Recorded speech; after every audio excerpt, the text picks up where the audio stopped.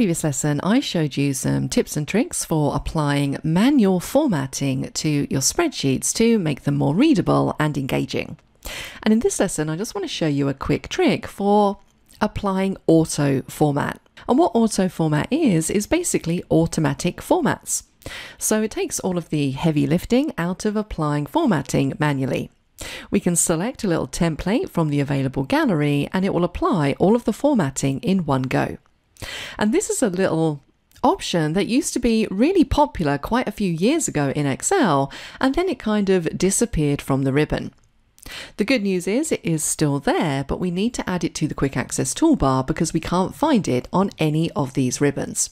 So let's start out by doing that.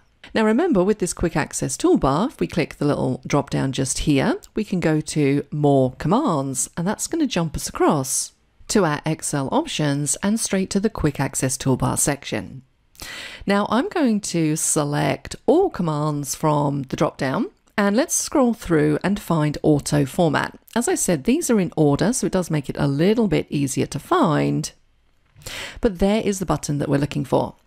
So I'm going to select it and I'm going to add it to my quick access toolbar. You can see there it is at the bottom. Let's click on OK. So now when I'm clicked in my dataset, if I click this auto format button, it's going to pull up a gallery of different formats that we can apply to our dataset. Hi from everyone at Simon Sez IT.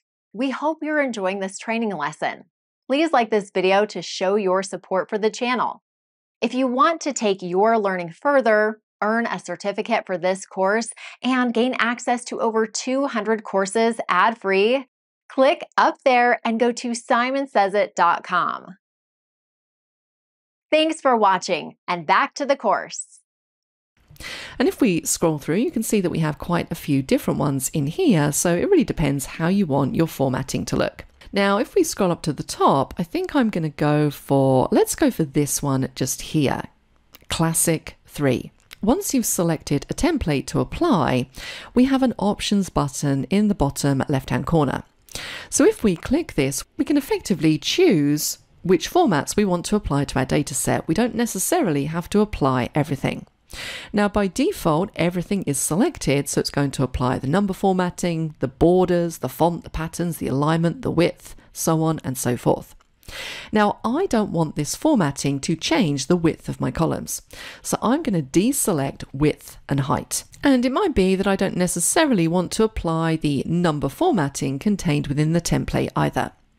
So go through and specify what you want to apply, deselect what you don't want to apply, click on OK, and check out what we have. It applies that formatting. And you can see here it's applied formatting to the header row. We have a background fill on all of the cells.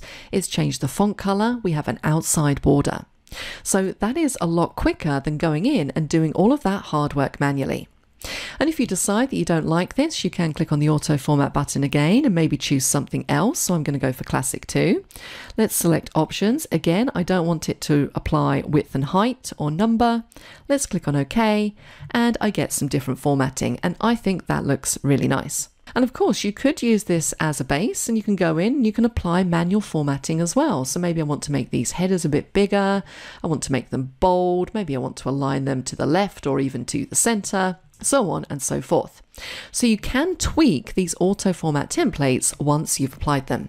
But I think you'll agree auto format is a really handy little button to have on your toolbar so you can just quickly format your datasets.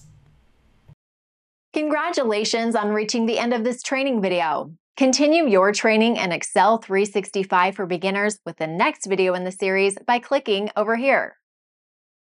For more related training videos, click over here to watch this popular playlist of free learning resources.